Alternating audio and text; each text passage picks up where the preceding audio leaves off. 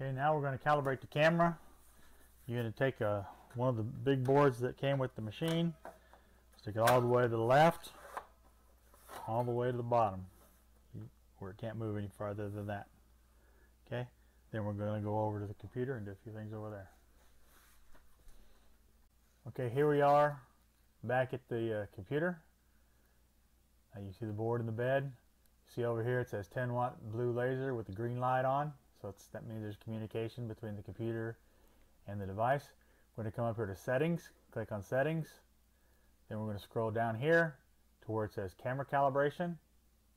Click on it and read the warning sign, blah, blah, blah, blah.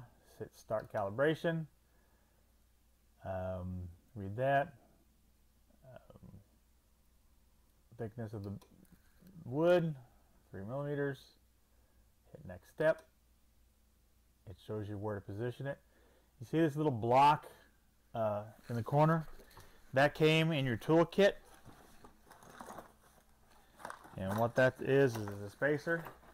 So we're going to come back over and stick that where the picture shows. And once it's in place, we're going to pull it out. Let you see it down right here. That's where it needs to go. Then hit uh, start calibration. We'll have to close the lid.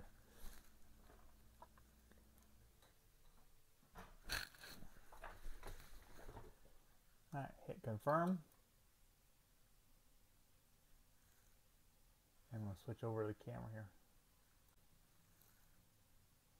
Okay, I'm going to hit start calibration. It says, are you sure? Yep. Hit confirm.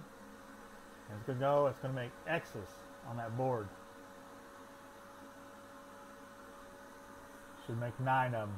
Three bottom, three top, three middle.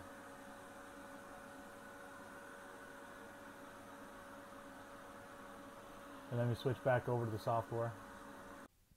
Okay, now the software itself is going through. It says please open the top cover. Raise that up. Hit next step.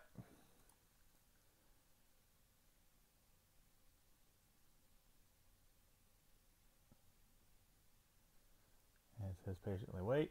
Calibration successful. Hit complete. We're done. That easy. Okay, we've officially completed all the preliminary stuff. Let the fun begin. Watch the next video.